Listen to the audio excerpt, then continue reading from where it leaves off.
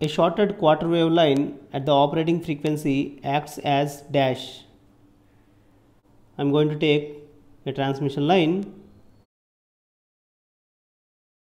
whose length is quarter wave that means lambda by 4 and the output terminal is shorted that is a short circuit connection.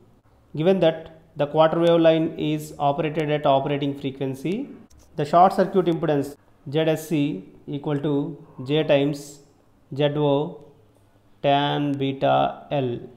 That equal to J times ZO tan beta is 2 pi by lambda multiplied with length of the transmission line is lambda by 4 that equal to J times ZO tan pi by 2 and the value of tan pi by 2 is infinity. Therefore ZSC equal to infinity which represents an open circuit connection.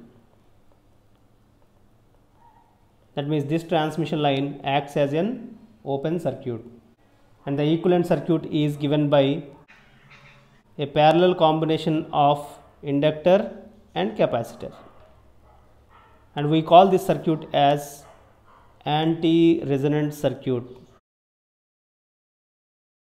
A shorted quarter wave line at the operating frequency acts as anti-resonant circuit. Thank you.